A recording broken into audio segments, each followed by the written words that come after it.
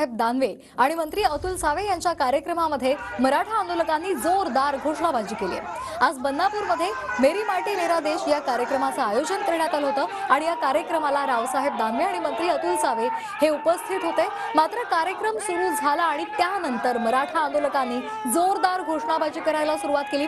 दरम्यान घोषणाबाजी होताच पोलिसांनी मराठा आंदोलकांना रोखण्याचा प्रयत्न केला असता मराठा आंदोलकांमध्ये थोडी झटापट सुद्धा झालेली पाहायला मिळाली.